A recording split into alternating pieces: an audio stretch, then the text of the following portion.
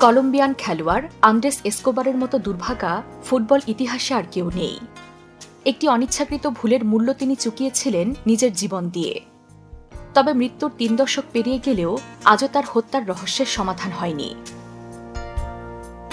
আজকে আমরা আন্দ্রেস এসকোবারের মৃত্যু রহস্যের গল্পই শুনব।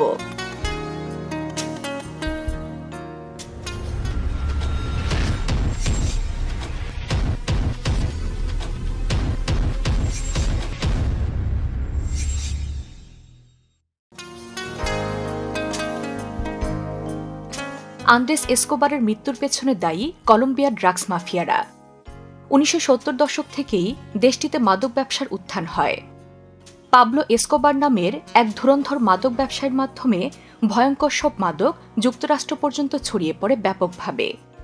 তবে এই মাদক ব্যবসার আধিপত্য নিয়ে খুন খারাপি ছিল কলম্বিয়ার নিত্য নৈমিত্তিক ঘটনা। আর এসব খুন আর অবৈধ ব্যবসা ধামাচাপা দিতে মাফিয়া বসরা পুলিশ থেকে শুরু করে আইনজীবী রাজনীতিবিদ সবাইকে বিপুল অঙ্কের অর্থ ঘুষ দিতেন। এই মাফিয়ারা তাদের ভাবমূর্তি উন্নয়নে বিপুল অর্থ বিনিয়োগ করেন ফুটবল ক্লাবগুলোতে। এতে মাফিয়াদের সাথে ফুটবলারদের সরাসরি যোগাযোগ গড়ে ওঠে। ফুটবল হয়ে ওঠে জুয়া বাণিজ্যের অন্যতম ক্ষেত্র। একই সাথে বিপুল অর্থ বিনিয়োগের কারণে কলম্বিয়ার ফুটবলেও দারুণ উত্থান ঘটে।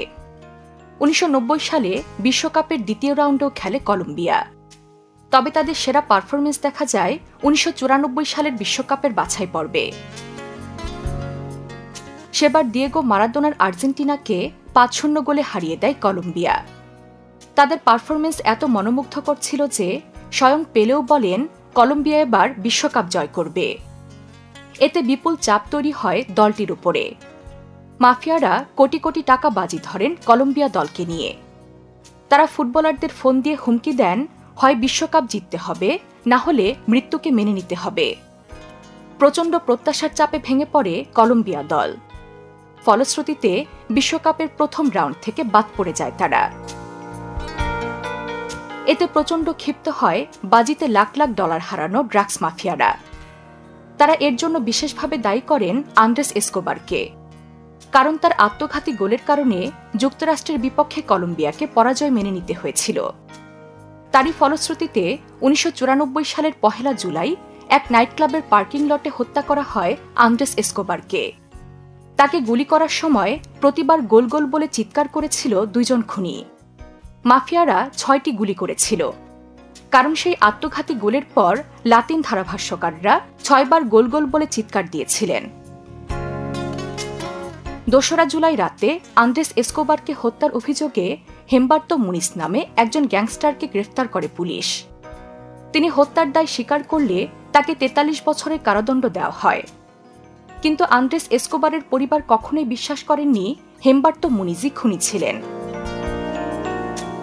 তাদের মতে মুনিস ছিলেন পিটার ও জোয়ান গ্যালন নামের দুই কুখ্যাত মাদক ব্যবসায়ী ড্রাইভার ও বডিগার্ড। এই দুই গ্যাংস্টার কলম্বিয়ার উপরে বাজি ধরে বড় অঙ্কের টাকা হেরে যান বলেই তারা আন্দ্রেস এসকোবারকে হত্যা করেছিলেন।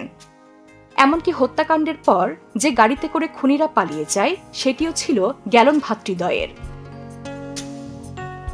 দাবি করা হয়, এই মাফিয়া বস বিপুল অঙ্কের অর্থের বিনিময়ে সরকারি নেতা ও বিচারকদের কিনে নেন এবং তাদের বডিগার্ডকে দোষী সাব্যস্ত করতে বাধ্য করেন। ওদিকে বডিগার্ড হেম্বার্ত মুনিসকে অবিশ্বাস্য অঙ্কের টাকা দেওয়া হয় হত্যার দায় নিজের কাঁধে নেওয়ার জন্য। ফলে পিটার ও জোয়ানের পরিবর্তে হেমবার্ত মুনিস জেলে যান। অবিশ্বাস্য ব্যাপার হল, পরবর্তীতে মুনিসের শাস্তি তেতাল্লিশ বছর থেকে কমিয়ে ২৬ বছর করা হয়। আরও অবাক করা বিষয় হচ্ছে, জেলখানায় ভালো আচরণ করার পুরস্কার হিসেবে দুই হাজার ছয় সালে মুক্তি দেওয়া হয় হেমবার্ত মুনিসকে অর্থাৎ তেতাল্লিশ বছর সাজা হলেও মাত্র এগারো বছর পরে বেরিয়ে আসেন আন্দ্রেস এসকোবারের কথিত খুনি। তাই মৃত্যুর উনত্রিশ বছর পরেও আন্দ্রেস এসকোবারের প্রকৃত খুনি আড়ালেই রয়ে গেছে। দুঃখজনক হলেও সত্য, তার প্রকৃত খুনিকে তা হয়তো জানা যাবে না কোনোদিনই। ফুটবলারদের এমন আরও অজানা সব গল্প জানতে সাবস্ক্রাইব করুন ফুটবল বিশ্ব।